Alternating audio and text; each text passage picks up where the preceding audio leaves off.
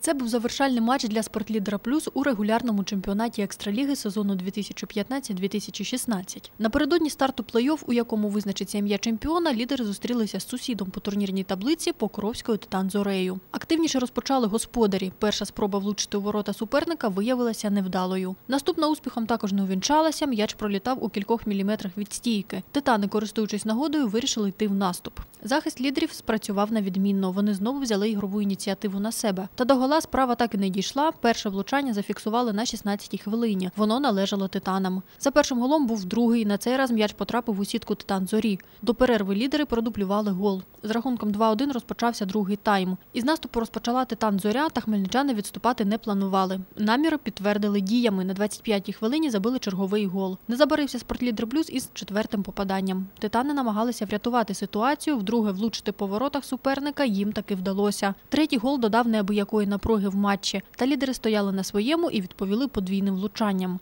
Зустріч закінчилася з рахунком 6-3 на користь хмельницької команди. Таким чином, спортлідер Блюз закріпив свої позиції на четвертому місці в турнірній таблиці змагань.